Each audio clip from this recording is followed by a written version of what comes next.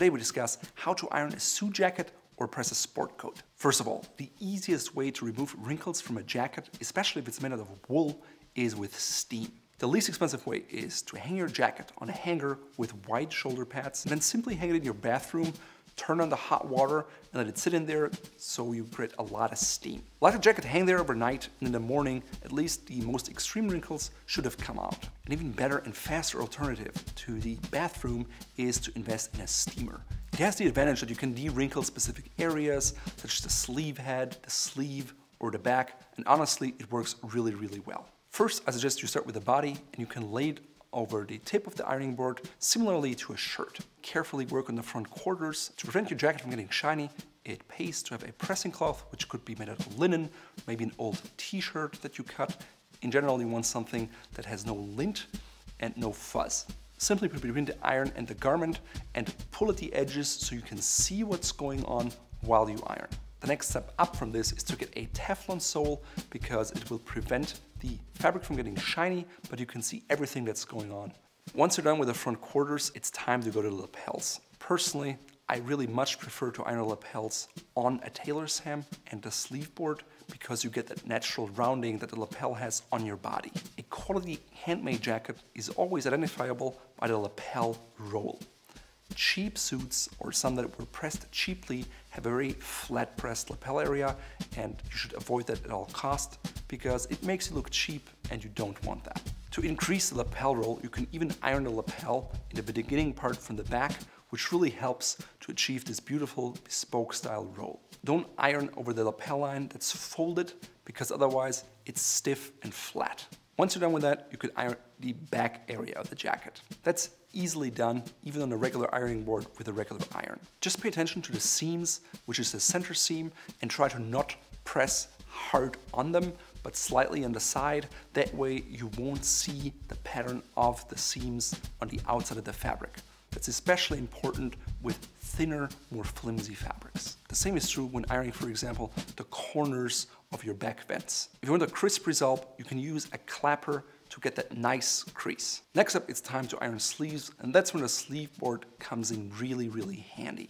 Rather than ironing two layers of fabric at the same time, I prefer to have one layer of fabric, but a sleeve is usually never just straight.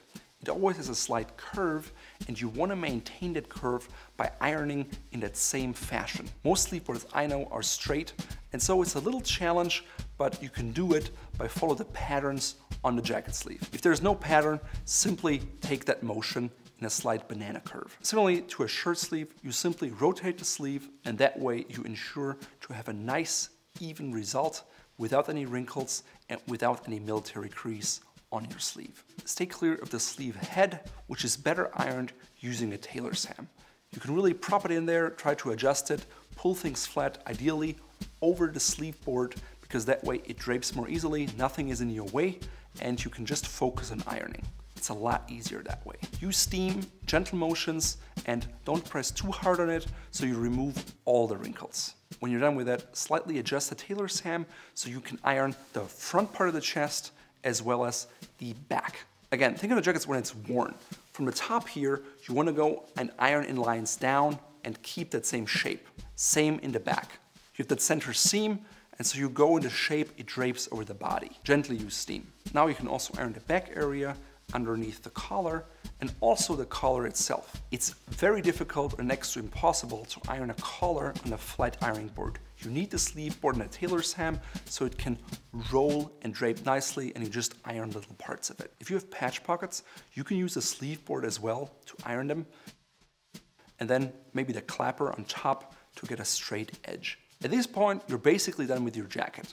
Ideally, you put it on a hanger or even better, a mannequin, so you can really look it over and see any areas that you might have missed or that just got wrinkles while you were ironing other parts. Again, take a look at the lapels, make sure the roll is there, there is no puckering or any waviness.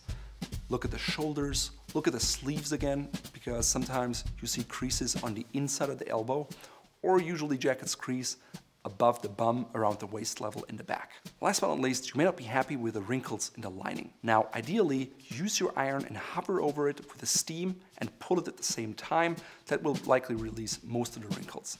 If it doesn't, you can gently press it or use a steamer that produces even more steam than your regular iron and you should be good to go. Just be careful not to press too hard because otherwise you may end up with wrinkles on the outside of the jacket, which is a lot worse than in the lining. Alright, now you know how to iron a jacket at home. If you haven't already done so, please check out part 1, 2 and 3 of this ironing series where we talk about the equipment, how to iron dress shirts and how to iron dress pants.